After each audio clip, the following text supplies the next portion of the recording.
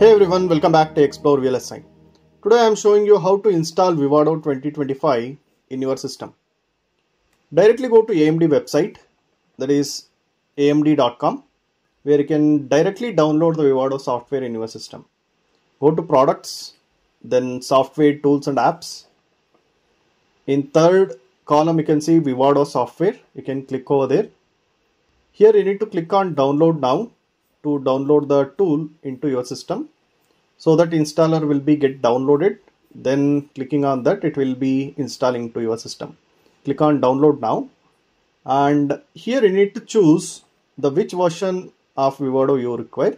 I am choosing 2025.1 and if you come down it will show you how to install as well. Installer information is there. You can click there. Or you can directly click on the file which you have uh, required this is a Windows file and below you can see the Linux version as well. I am choosing Windows version for my Windows system. Here you need to uh, log into the AMD uh, site. You need to create your account if you have if you don't have any account. Then you can use the same credentials here and then it will take you to your profile information. Under that there is a download button available. Then you can find the file here I have downloaded. Just double click on that First it will extract the installer for FPGAs or SOCs. Then you will get all the required files uh, for an installation.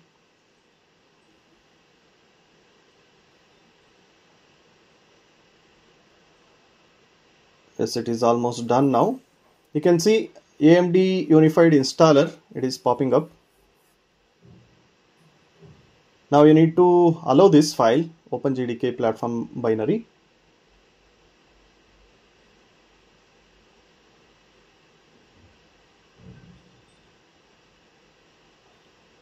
here is the installer. Then uh, here you need to just click on next. Then you need to provide your uh, credentials again here. Similarly as you logged into the AMD, AMD website the same credentials you need to provide. Then click on download and install now. Uh, if you are installing immediately in your uh, PC then click next. Then it will ask for to select the product. Click on Vivado.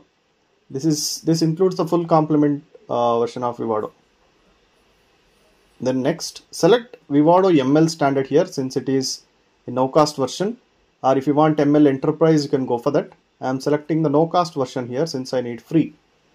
Then here you need to choose carefully uh, depending on your requirement. See under devices we will be having, you need to select at least one uh, device.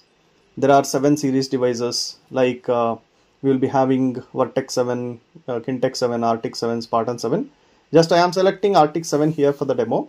If you need any particular device with that if you are working on, you need to choose that and also some SOC devices, ultra scale, ultra scale plus devices available.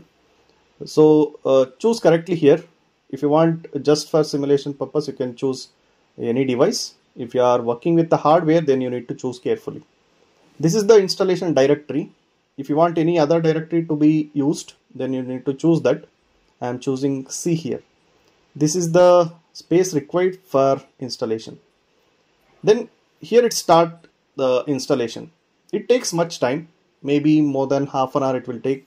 45 minutes to one hour also it may take. Just wait for the downloading files to get completed. Then it will proceed to the installation. Then final processing. Until that no need to click anything here. It will automatically download and install the files it is it will not take like 76 or 80 hours as it is showing. It will just take less than one hour. So now one hour five minutes it took to download files and then almost installation files are getting completed now. Yeah final processing is done. Now I am done with my installation. Now I can invoke the tool I can start using it. This is as simple as that. Now you can go to the directory where you have installed then find Xilinx directory in that.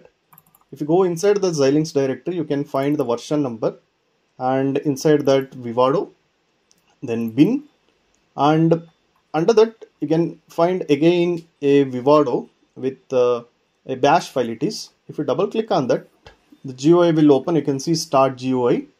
So it will open the tool now you can uh, start creating your project and you can simulate the things see here AMD Vivado 2025.1 version that is ML version.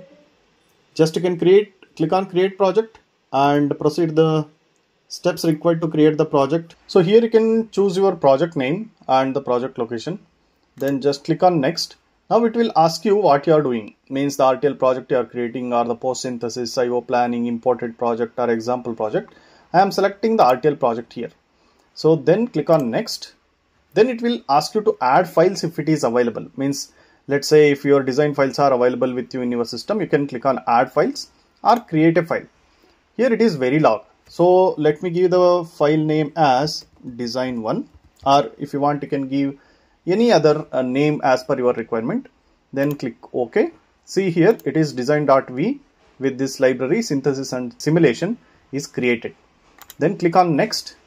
Then here again you need to uh, create a file for adding the constraints.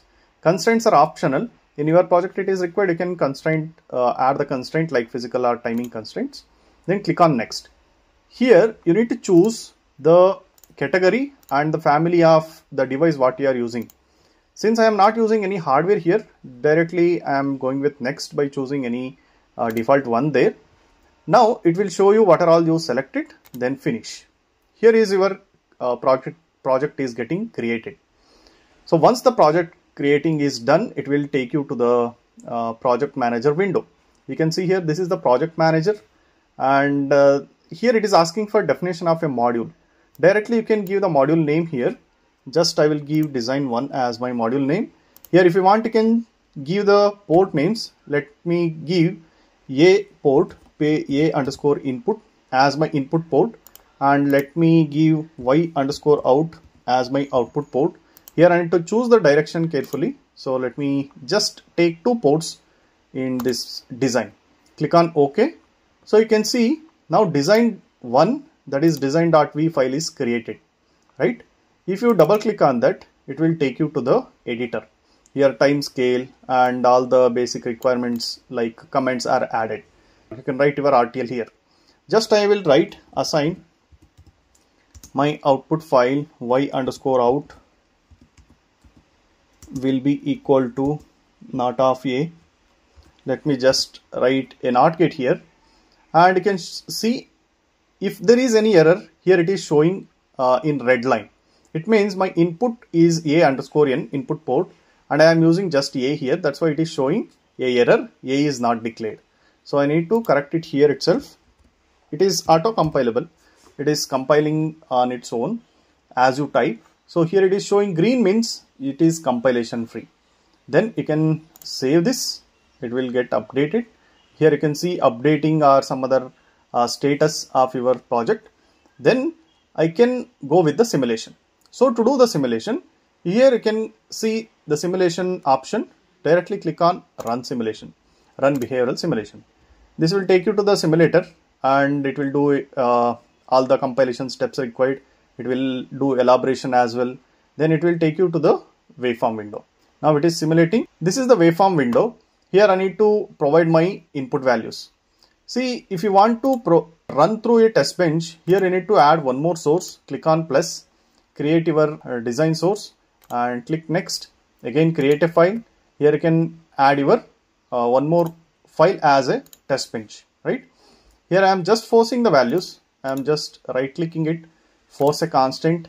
Let it be binary and let my value be 1 okay. Then I am just I need to run it. So I need to run for a specified time. You can see 10 microseconds is there. Let me choose uh, nanoseconds is there. Let me run for 10 nanoseconds. You can see now if you click on here it will be zoom fit. Up to here it is a default value. From here onwards I am providing a is equal to 1 for 1 I am getting 0 this is how you can simulate the things and you can start using the tool explore more. And if you want you can add the test bench file here and also directly you can simulate it. That will be your top file and this becomes the sub file of that. Thank you